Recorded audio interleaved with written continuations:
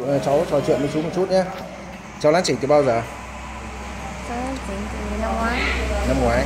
Thì, ờ, cái lán chỉnh của cháu cháu bị đau gì không? Hơi đau. Hơi đau một chút hả? Ờ, thế khi mà đến lán chỉnh ấy, thì bác sĩ bảo cháu phải làm gì? Bác sĩ bảo phải ăn uống không được ăn đồ lắm. Đánh răng ừ. thế cháu có phải nhổ răng đi gì không? Có ạ. Cháu nhổ mấy cái răng nó bốn cái. Thế lúc nhổ răng ấy thì cháu bị đau không? Hơi đau. Hơi đau một chút. Thế răng của cháu đầu tiên nó bị làm sao nhỉ? Nó bị thấy như bỏ thế bây giờ cháu thấy thế nào? Là đẹp. Có thích không? Đây chụp quay ngang nhé. Quay ngang khuôn mặt.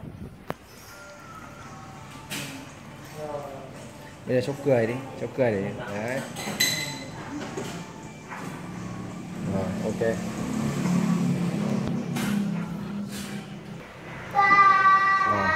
Nhai cơm chú sao này. Ăn nhai đi. Ăn nhai nhai nhai mạnh há to cả nhai vào rồi.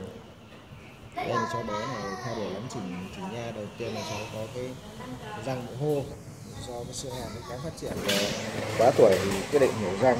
Nhưng nhổ răng thì kéo lắm chỉnh, xong rồi ờ, khoảng cháu lắm chỉnh được bao nhiêu lâu thì? Khoảng năm chưa đấy khoảng 15 thì hiện tại bây giờ kết quả rất là tốt, mỹ mãn. Cái khuôn mặt rất là đẹp. Cứ nhai cơm cũng xem này. Đấy, rồi, ok.